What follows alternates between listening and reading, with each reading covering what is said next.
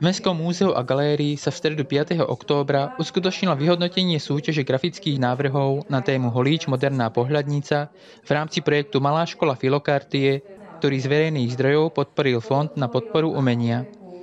Do súťaže sa mohli zapojiť fotografickí načenci, výtvarníci či grafici všetkých vekových kategórií.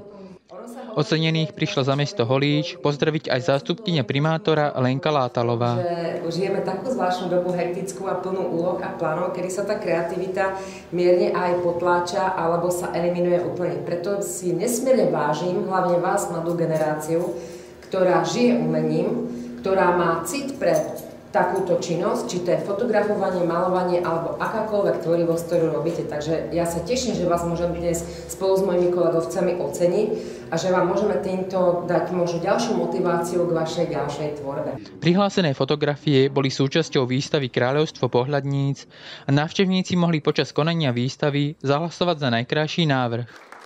Medzi ocenenými najviac vyčnievali žiačky zo základnej školy Školská pod vedením pani učiteľky Emílie Krištofíkovej. Na treťom mieste sa umiestnila Ema Čierna.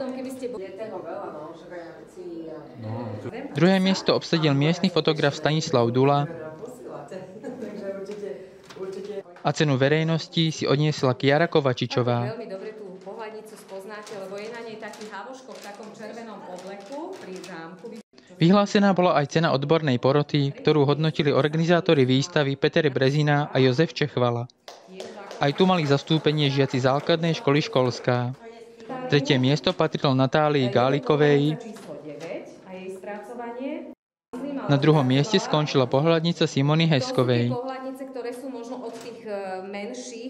Za najlepší návrh ocenila porota súbor fotografií Adriána Pielčáka, člena fotografického krúžku Centra voľného času pod vedením riaditeľky Zdenky Cintulovej.